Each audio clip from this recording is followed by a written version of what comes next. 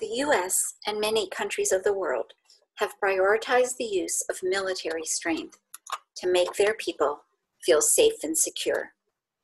Military force used to be effective back during World War I and World War II, but it really hasn't worked since then.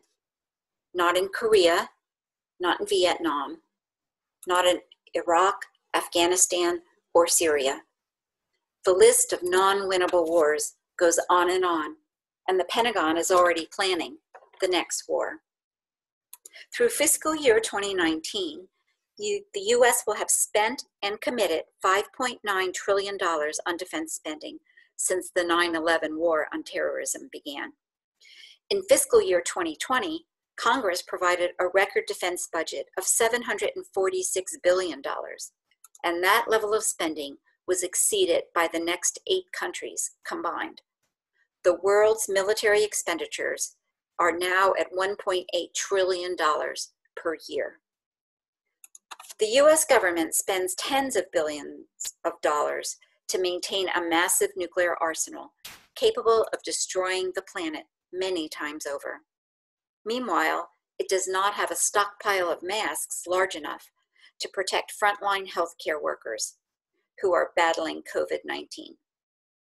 Imagine the impact if a sizable portion of military spending was used for non military needs. We could have been better prepared for this global pandemic that some experts saw coming.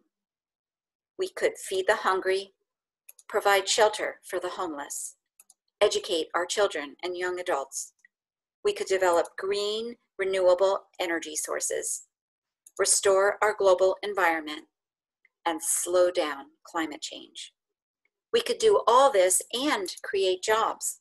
Studies have shown that investing in any other industry creates more jobs than are currently funded with military spending.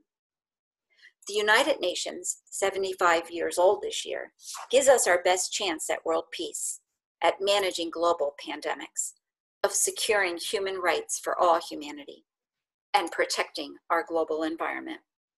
The UN has done much good, but much more can and must be done to save humanity and our planet. Secretary General Antonio Guterres has called for a global ceasefire so our world can face our common enemy, COVID 19.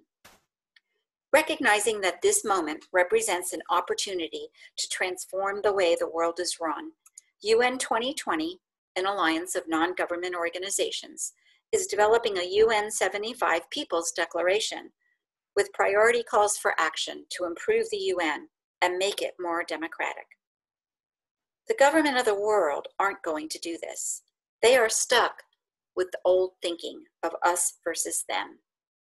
The people of the world must recognize that we are all in this together, and military spending does not make us safe and secure.